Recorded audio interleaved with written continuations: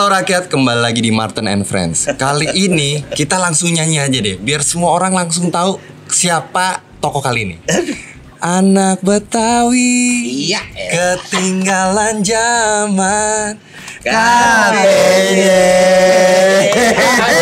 Sialan itu anak Betawi asli. Salah tiga. Wah, Wow, Bang Rano Garo. Selamat datang di Tanah Harapan. Oke loh ini dulu pertama kali aku ke sini tuh masih SMP apa SMA gitu. Iyalah. Dan ternyata masih di sini ya. Masih di sini. Ya, makanya saya bilang Tanah Harapan. Dan ini dulu lokasi Ini syutingnya. lokasi Sidul dulu. lihat Makanya dong di opletnya belakangnya. di sini tuh. Nah, kita ngomongin oplet dulu. Ya, most ini- iconic oplet. Nah, ini Morris pasti. Ya, Morris, Morris, Morris, Morris. Tahun? 57. Harga? Belinya. Iya. Belinya lagi tuh 500 ribuan kira. Belinya 500 ribu. Mahal, makanya mau ditukar sama Roros. Maroros ya. Dan nggak lepas ya? Enggak, Wush. enggak, enggak, enggak. Ini ketemu RK ini nggak gampang. Ada, ngaturnya kalau dia bisa kita nggak. Eh, udah tiga, tiga empat minggu ya. Anggota dewan. Anggota. Anggota. Anggota dewan yang tiap hari virtual aja. Tur sukses lah. Oke. Sehat bang. Amin amin amin. amin. Asik. Udah di YouTube juga kayaknya sekarang. Gue lagi belajar. YouTube apa aja YouTube. Tapi kalau YouTube kan emang udah pakai dari Udah udah, tapi dulu Lama. ya artinya dulu YouTube untuk apa ya? Ya untuk berita berita Untuk berita tentang ya kalau boleh sebut tentang Banten lah. Ya, Oke.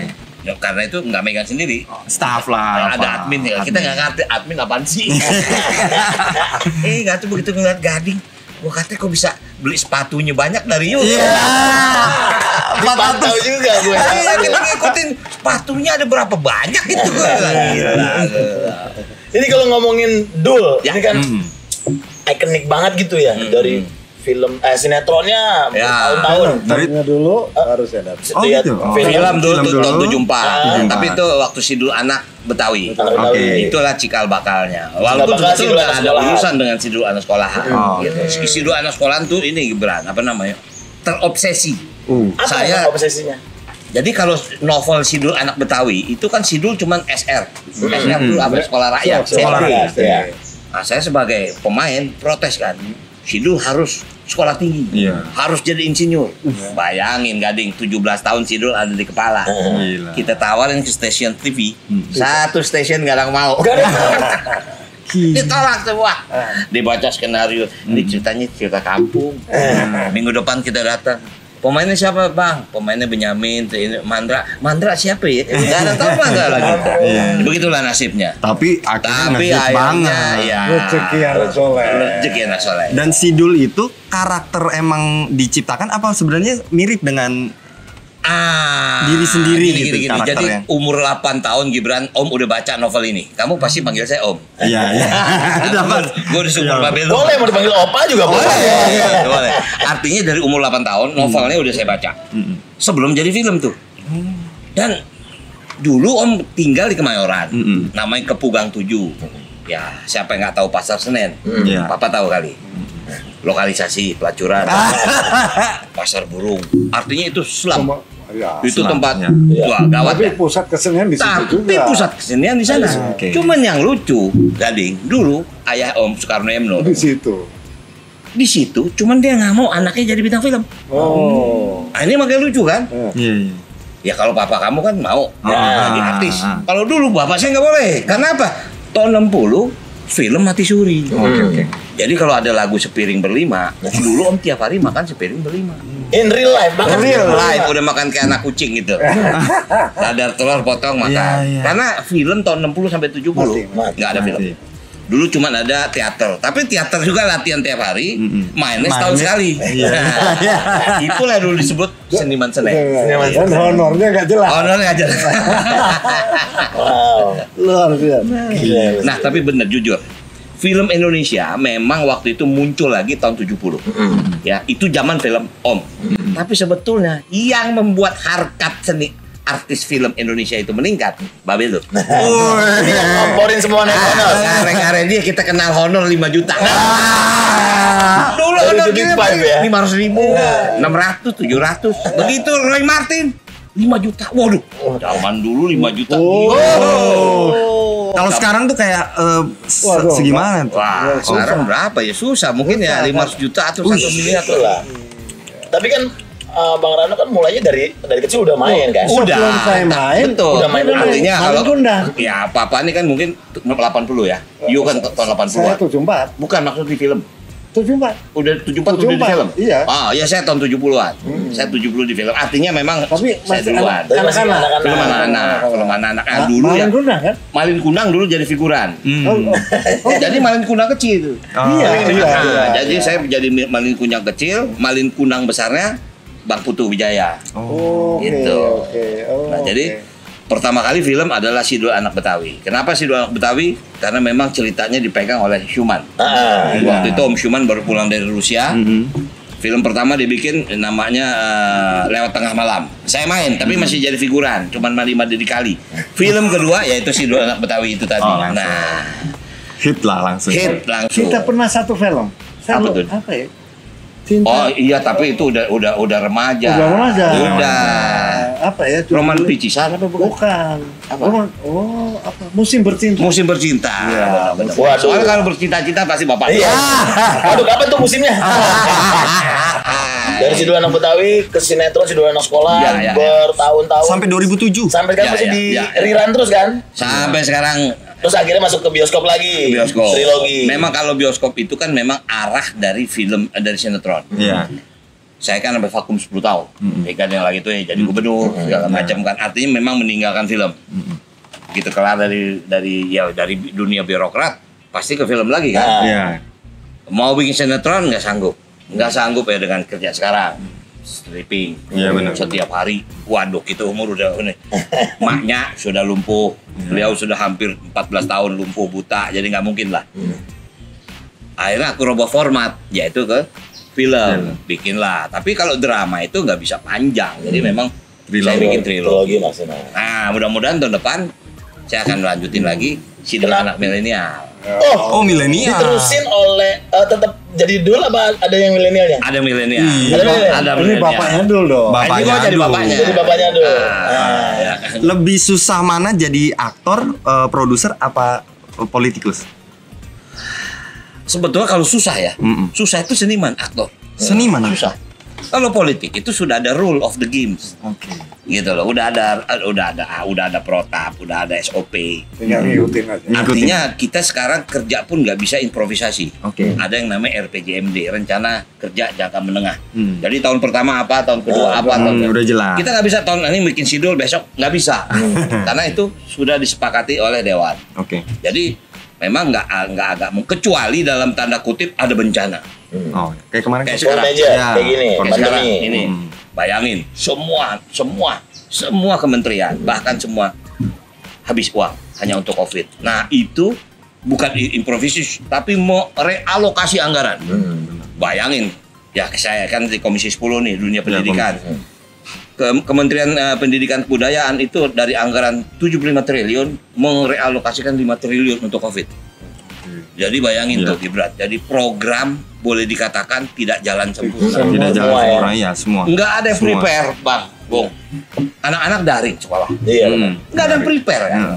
Enggak, kita nggak siap untuk sistem begini. Walaupun ada beberapa sekolah yang memperlakukan begitu. Kayak misalnya UT. Iya. Yang terbuka memang daring. Begitu. Kemudian kayak Tapi ternyata Tapi kalau semua berubah jadi gitu. Ya bayangin, jangan kita bilang anak-anak kita di Papua. Mm-mm. Anak kita di Banten Lebak saja, itu banyak daerah blind spot. Hmm. Bagaimana mau belajar? Iya iya. Dia nggak punya HP yang, Iya. yang standar. Nah artinya ya Iya. seperti itu. Nah itu pemerintah harus berimprovisasi.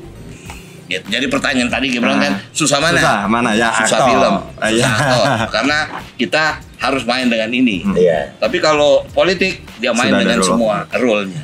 Pernah nyanyi, sukses. Sukses. lumayan. Pernah buka warung sukses. Iya, loh. Iya dong. Sampai ke Arab soal waktu Iya. itu, sampai ke Arab. Nyanyi sukses, buka warung sukses, main film sukses, main sinetron sukses, jadi gubernur sukses. Ah, Pernah nggak sih gagal apa gitu di bidang apa? Pernah nggak ngalami masa-masa ya? yang Iya. yang kurang berhasil? Kalau ber- berhasil semua orang tahu. Ya, ya, Tapi ya, sebagai ya. manusia kan pasti ada yang apa ya? Apa saya kok ya? kurang bidang ini saya kurang berhasil. Pernah? Atau atau sukses terus?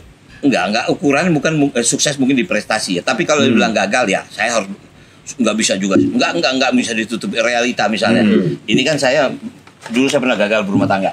Oh. Oh, Istri istri pertama dulu pemain big pingpong, Iya. cerai. Kemudian dia menikah dengan teman SMA. Sampai sekarang udah Tapi kan hampir sukses sekarang. Sukses. Oh, iya. Tapi jujur aja, aku tidak diberikan keturunan. Ah, oke. Itu apakah kegagalan? Tapi Enggak ternyata juga. tidak. Nah, Dengan dengan aku mengedop dua, malah aku bisa merangkul semua anak. Itu hikmah di balik itu. Luar biasa. luar Tapi biasa. ada orang melihat itu adalah sebuah kegagalan. Saya bilang itu bukan kegagalan. Iya. Melihat dari mana ya? Ya, betul. sebuah pembelajaran dari RK Nah, bahwa tidak mempunyai itu juga mempunyai lebih ya, banyak. Iya. betul, Betul, betul, ya kan? betul, betul. Oke.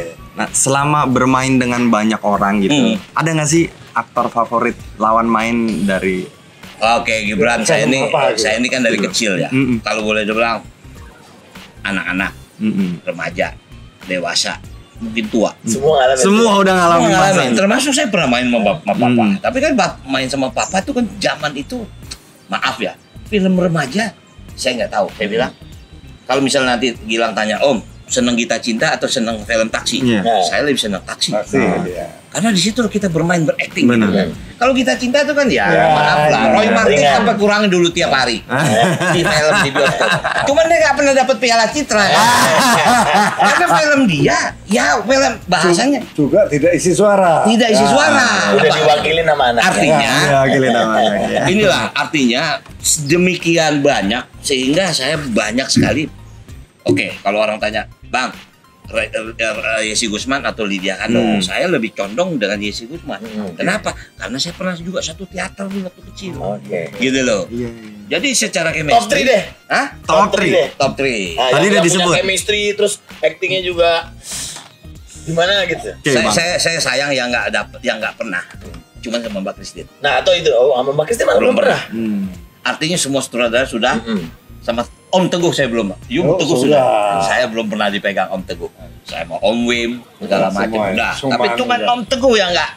Ya karena main dengan Om Teguh itu nggak semudah gitu loh. Iya. Apa namanya gading. Mereka kan latihannya harus Udah. gila, wah gila gitu. Yang ya. namanya masuk teater, bu, walaupun tidak harus menjadi anggota teater, tapi yang namanya train, reading, wah gila itu. Makanya begitu Christine Mahaki main, kita udah lihat udah kayak apa ya, udah ngalir. bisa, ya. ya. Nah, aja. artinya itu Gibran, bukan berarti yang sekarang tidak mengenakan dibanding main dulu. Dulu lebih enak. Karena dulu lebih susah kan. Lebih susah betul. Dulu kayak makan eh, makan besar itu apa? Kalau hari ini kan eh, junk food gitu. Ya, Ya, kayak Jadi cepat yang makan cepat saji lah. Dulu gue bayangin, kita syuting masih seluloid. Iya, masih pakai Ya, film. sekarang kan vi- pakai Kita salah apa Ya, ya, ya, ya, ya, satu ya, ya. can itu empat ratus ribu, yang asa 400 tapi asa yang gede Oh. 2 juta. Ya. Dan nggak boleh salah. Nggak Salah, boleh. di- salah ditabung. Potong honor. Salah potong. Bener kok potong honor. Pernah kejadian, ini saya bukti, tapi saya bukan bukan ngomongin, Iya. bukan. Begitu luar biasa, cum- cuman lagi tuh saya syuting opera Jakarta. Nah, Yang main Peruca, suara Peruca sama Harusnya Reza, gua tuh. sama Reza Tapi. aduh. Dia lagi berdua, cuma sampai tik 20. 20 tik. Cuman Jaya ngamuk. Habis film gue nih. gitu. Dulu kan kalau syuting udah syuting itu nggak bisa di nggak bisa dilihat, Iya, nggak iya, bisa iya. di Iya, play- lagi untuk di syuting iya. lagi kayak sekarang kan enak lo salah tinggal udah. apa-apa. Eh, Salah titik. 50 kali boleh. Iya, iya, Nah, iya. jadi iya. artinya kualitas permainan dulu Pasti lebih. sulit. Iya. Kita harus latihan betul, hafal, disiplin segala macam, Blocking. blocking segala macam. Kita Walaupun- bisa, Ah. belum tentu. Bah, Lawannya tentu. bisa. Lawannya bisa, iya benar benar benar. Jadi benar, emang benar. tingkat kesulitannya menarik. Acting juga lebih lebih apa ya? Bayangin Gibran, kita syuting hari ini Dubbingnya 4 bulan kemudian. Iya. Ini enak, nggak pernah dubbing. Ya, Iya, balik- rasanya, Iya. rasanya. Yang paling. Jadi pernah dulu om main film Ratapan Anak Tiri. Rada mana diri kan toh. Sama Farida Sani. Eh, Adegannya nangis. Ditabokin. Sekarang syuting dubbingnya 4 bulan. Aduh, aduh. Kita ditabokin Sadi Suwardi dulu nangis ngeliat gambar. Gila gitu. Bener-bener. Saking sulitnya tuh. Tapi ya minta maaf. Sekarang enak lah. Sekarang- Maaf lah ya kayak sekarang kamera gampang, light lighting gampang. Oh. Waduh. Seadanya ya. Iya. Baru gila, biasa. Nah kalau sebagai seniman juga ngelihat setelah covid gini, Mhm. Menurut Om pandangan terhadap eh, para seniman dan dunia film sendiri gimana? Ya. Masih positif nggak? Ya, dalam arti kata positif tapi membangunnya merangkak. Hmm. Ini merangkak, nggak bisa lari seperti dulu. Sulit, ya maaf. Sekarang maaf. Berdasarkan isu tanggal 29 bioskop boleh buka, Tapi Iya. katanya diundur tapi lagi. diundur lagi. Diundur lagi. Itu itu dampak. Iya. Kalaupun dibuka, jumlah kursi akan berkurang. Benar. Di 30, base satu ya, 50%. ya 50 persen. Artinya apa? Akan mengurangi jumlah penonton. Ya. Penonton film Indonesia sebelum Covid satu tahun 60 hampir 60 ribu, 60 juta orang. Luar biasa. Luar biasa, luar biasa.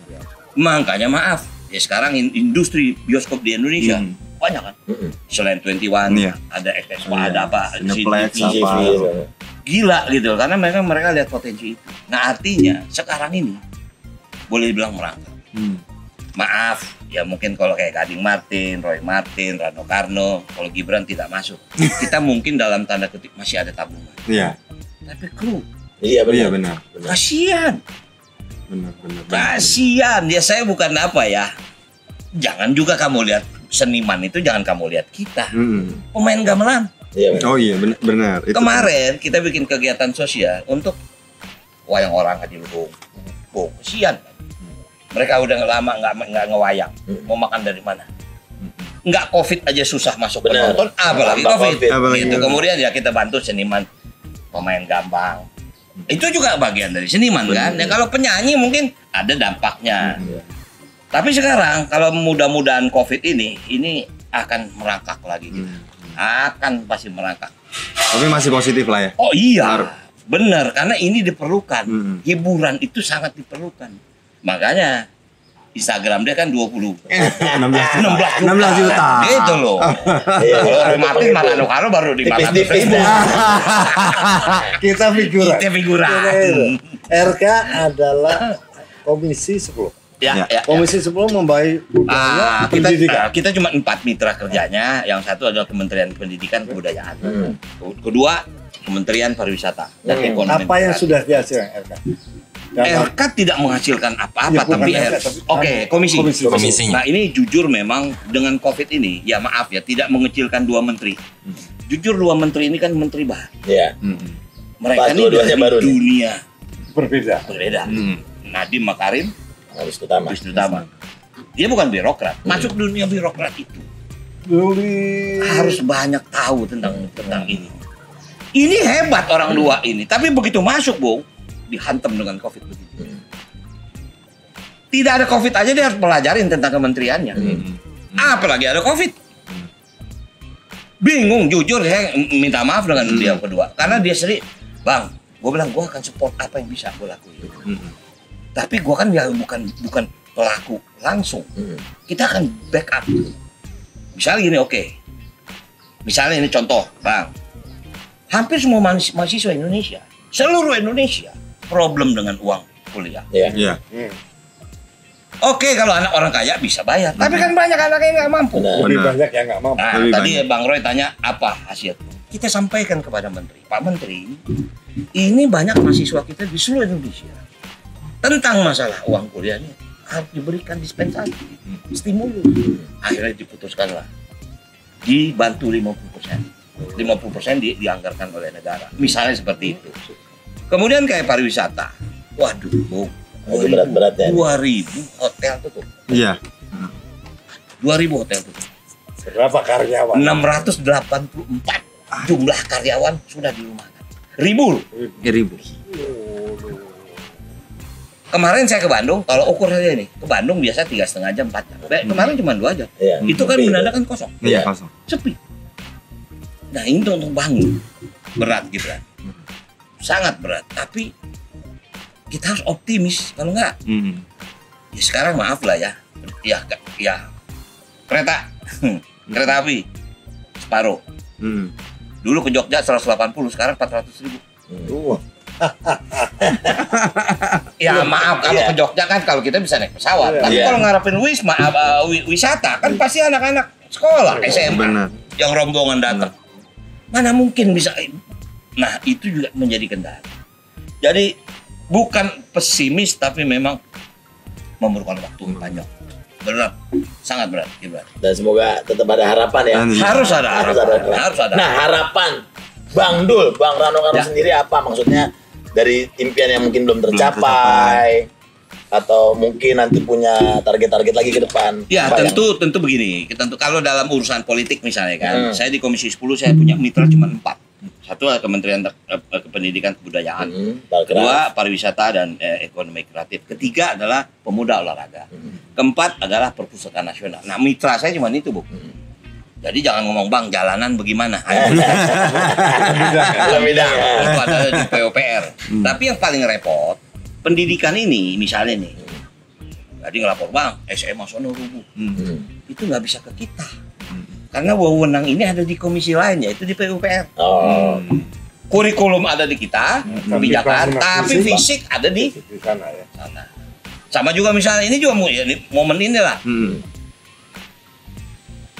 pesantren, madrasah kita nggak bisa bantu hmm. karena itu ada di Kementerian Agama yang tidak di komisi kita gitu loh. Orang kan berpikir kalau pendidikan, wah Ya pesantren, madrasah atau ya sekolah-sekolah swasta yang lain, gimana nih? Hmm. Itu nggak bisa di kita, itu ada di Kementerian Agama. Misal seperti itu. Nah jadi itu harus dipahami.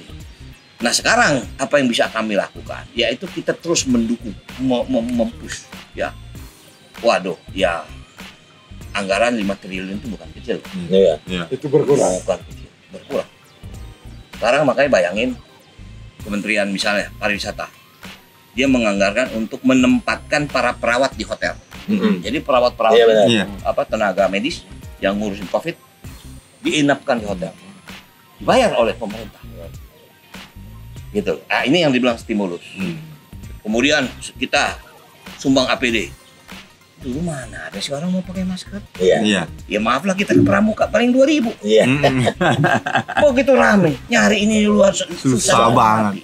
ya sekarang sudah mulai stabil artinya memang ini bukan berarti kita pesimis tapi memang ini memerlukan waktu Gibran sangat membutuhkan waktu dan kita yang paling bahaya ini saya nggak tahu ya tapi momen ini juga harus saya kasih tahu apalagi nggak tahu Gading kemarin diundang presiden nggak Ah. saya nggak diundang karena saya nggak dianggap artis sama beliau. DPR.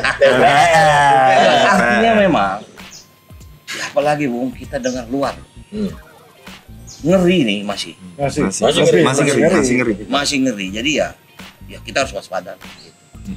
Eh, untuk terakhir Ya. pes- pesan-pesan sama anak muda, seniman-seniman muda, dan Oh. politikus-politikus muda apa nih kira-kira? tetap harus kreatif. Kreativitas nggak boleh terbelenggu karena sekarang wacananya banyak. Hmm. dan punya nilai yang di luar ekspektasi. Maaf saya jujur ya nggak ngerti saya YouTube. Tahu YouTube cuman kok ada duit di situ Ya, itu dia. gimana caranya Boleh juga nih. Boleh juga. boleh juga nih kan jadi youtuber jangan pada ngamuk dong Iya dong. karena YouTube itu dunia kreatif Benar.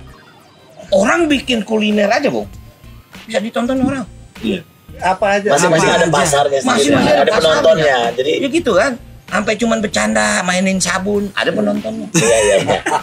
aku kadang-kadang berasa YouTube nih marketnya ke mana Ah, sih? Iya, iya, Kayaknya iya. bukan bidang gue lagi, gue udah tua bangke. Ini enggak ternyata kagak juga. Ada yang lebih Selamat, selamat ada penonton yang dunia 60 baru. tahun. ya. Tua. Jadi apa sih ya, Bran? Kreativitas jangan ter terbelenggu. Oke. Malah anak-anak sekarang dengan adanya Covid ini, ininya lebih brandnya lebih gila. Harus kebuka lagi. Cuman memang belum tahu ini ke mana gua arahnya nih. Ya sekarang bikin musik udah gampang, di rumah udah bisa bikin musik. Syuting mah barangkali pakai HP bisa. Iya. Tinggal mau bikin apa itu aja. Oke, wow. Masa. Keren banget ini sebenarnya masih banyak banget yang pengen dibahas nih. Aduh, mudah-mudahan kita punya waktu lagi untuk Boleh, boleh, boleh. Boleh. lagi nih Nah, ntar kalau Bang studionya udah jadi undang gue. Ah. Iya loh. Masa kalah sama Atta lu? Iya.